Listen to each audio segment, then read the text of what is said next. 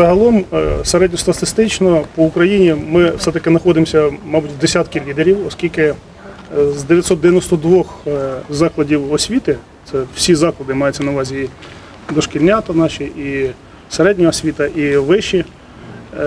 Практично на 60%, 55-60% ми в готовності до розпочинання навчального року в стандартному режимі нашої освіти, тобто в системі офлайн, так званому. І е, комісійно е, за участі і співробітників е, ДСНС, і цивільного захисту, і самих освітян комісійно ми перевірили 100% цих закладів.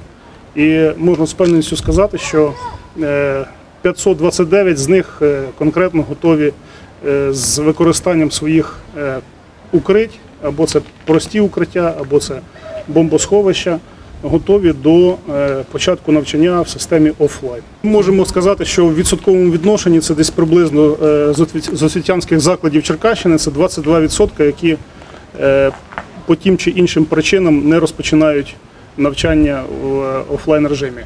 Але ми використали по максимуму навіть ті можливості, коли деякі навчальні заклади, чи це дошкільні, чи це середні освіти, будуть орієнтуватися в тому числі на укриття, які по сусідству, тобто в сусідніх е, підприємствах, комунальних закладах, там, де можна розмістити учнів, і там, де недалеко пересуватися до цих укриттів. Е, Звичайно, ми практично покроково перевіряємо е, ці вимоги. Ми їх, очевидно, вже всі і вчителі, і всі ми знаємо їх на пам'ять. Це і система оповіщення щодо повітряної тривоги, це е, шляхи висування до укрить, щоб е, чітко е, всі розуміли, куди рухатися і в якої по якій- в якій черзі.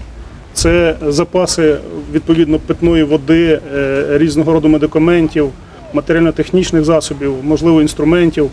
Це звичайно, і що ми передбачаємо напередодні навчання, це тренування самих учнів і освітян, оскільки це головне, коли людина е, орієнтується і швидко діє на випадок е, повітряних тривог.